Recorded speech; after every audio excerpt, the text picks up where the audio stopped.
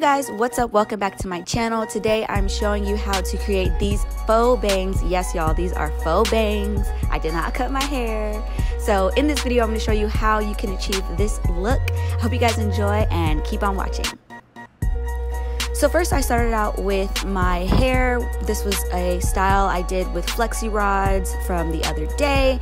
And so I'm going to start sectioning first so that I can do my top knot bun before the bangs.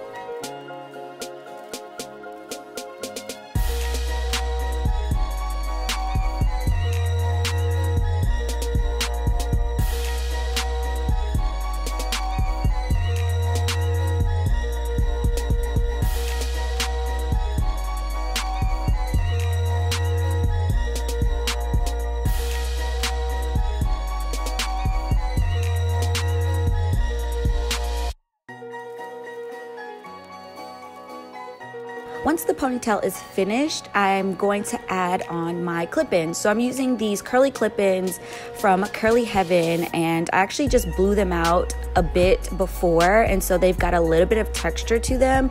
If you want to use a clip-in with a smoother texture, you can, but this one just matches my natural hair better, which makes the look feel more real.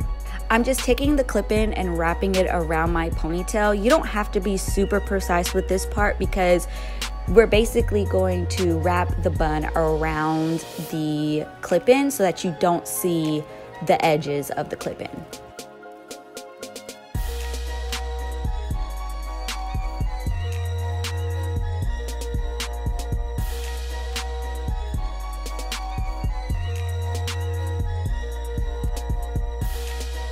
Once the bun is created, this is the time for the bangs. So I'm going to kind of adjust the hair based on the width that I want my bangs to be and then just straightening them a little bit so that I can prepare to cut them.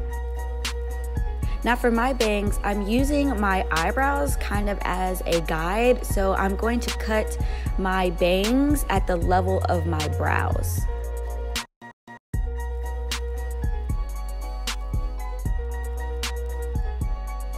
And then obviously just going back in with the flat iron to make my bangs a little bit more uniform and that's it.